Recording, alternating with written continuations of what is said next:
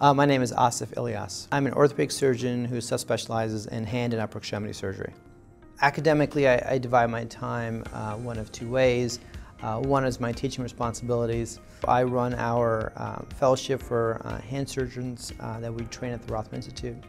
I also serve as a professor of orthopedic surgery, so that involves me training uh, Jefferson orthopedic surgery residents and Jefferson medical students. And then the uh, second half of what I do academically is research. My main three areas of research uh, focus are um, fracture fixation and fracture constructs, particularly uh, upper extremity fractures and, and, and, in particular the distal radius. Uh, as well as I do a lot of work uh, looking at pain management strategies uh, in terms of opioid um, consumption and other pain management strategies to minimize the need for opioids postoperatively.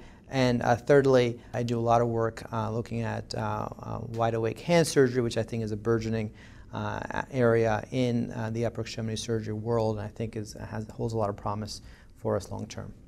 Yeah, so wide awake hand surgery. Uh, this is a really interesting area. Um, firstly, I think it's important to preface it by saying it's, it's not that revolutionary. We're using lidocaine uh, for surgery of the hand and wrist. Uh, lidocaine's been used all over the body for different techniques for, for decades and decades. What's distinct about, I'll say, in the world of hand surgery is that it, by using lidocaine buffered with bicarbonate to take away the burning from the injection, and then added with um, epinephrine, which limits the amount of bleeding in the surgical site. What that's doing is uh, um, negating our need for, one, a tourniquet to minimize bleeding in the surgical field. Right? So lidocaine is meant to, to take away that need. So if you don't have tourniquet and tourniquet pain, you don't need to sedate someone. And also by having an injection that doesn't hurt to receive, so lidocaine buffered with bicarbonate, another reason you don't need to put someone to sleep. Because if you really um, identify why you're sedating someone for certain procedures, it's often because of the uh, injection pain of adding the local anesthetic and having a tourniquet up for a period of time.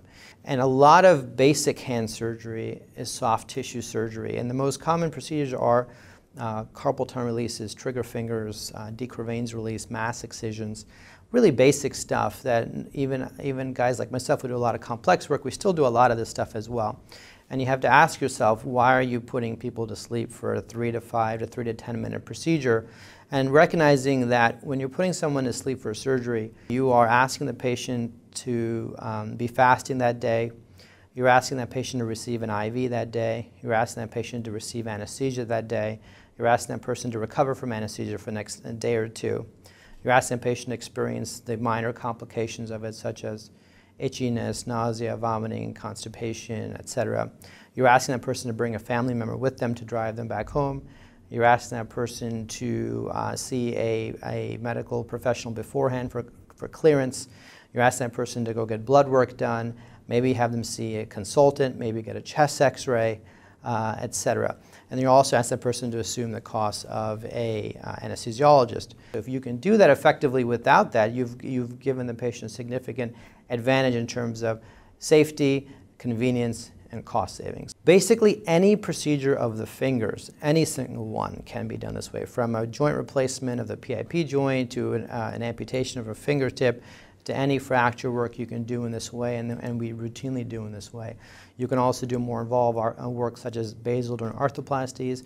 Some folks are doing even fracture work more proximally. In my own personal practice, I'm doing 50% of my cases now in a wide awake hand surgery fashion, and I, I set aside a dedicated day to do those cases because it's a different flow, it's a different uh, approach to those patients than the, than the days that I'm doing my cases where I'm anesthetizing my patients in the traditional way. As I started dabbling with this about five, six years ago, it was interesting to kind of see how patients respond to it. Uh, patients are actually quite uh, receptive to it because from their perspective, this is not new for them. They go through this anyways. If you see a dermatologist, you see a dentist, you see a plastic surgeon, uh, they already do a lot of these procedures in the office under local anesthetic. So that concept is actually not uh, that new to them. Uh, what's new is doing this in a surgical center or such an equivalent facility under just local anesthetic. It's more the, more the surgeons who are reticent, and that's because our training, myself included, is um, biased that if you're having a surgery, the patient's going to sleep. it's looking at that in a new way, saying, do I really need to have a patient asleep to release their trigger finger? Um, is there really a need necessarily to do that? And can I do that uh, in a different way? That's where the reticence is. It's not really on the patient side. Most of the advantage I had mentioned previously is to the patient, right? Their cost savings, their health safe, their, their complication savings, their, their convenience, uh, convenience with it. But really where it becomes most valuable to me is the fact that I can, uh, A, um, educate that patient during the procedure uh, about what I'm doing and what to do afterwards. So that actually saves me a lot of time afterwards. I've done the work and the speaking at the same time versus having these conversations afterwards um, uh, again, if you will, or, or, or later. Um, I don't have to have a, as many post-operative visits because I've, I've, done that education with them during the procedure, not afterwards. Um, and particularly in certain procedures where I'm repairing something, I, and, and specifically tendon repair surgery, it's extremely helpful because now after I do a repair under local anesthesia only, I can then have the patient stress that repair by actively moving that repair site. Or something as basic as a trigger finger release, I can have them move the finger after the release to make sure that there's no residual catching or triggering that's happening. That's a, that's a huge advantage in terms of um, maximizing outcomes. And also, the other uh, last benefit of that is that patients have a real appreciation for what you've done. They've been there for a while, they're watching what you're doing. And if something goes amiss, I have found that they're much more understanding of it and or take more responsibility. Like, I'm sorry I did this or didn't do that or I didn't, etc. Versus when you're oblivious of what's happened, there's that's, there's less ownership of it. When they're involved and they're and they're observing, there's a lot more ownership of it. So that's been an unexpected benefit of of this. Um, that and I, I tell my trainees that if you're going to start doing wide awake hand surgery, the best procedures to start them with are trigger finger releases and flexor tendon repair surgeries.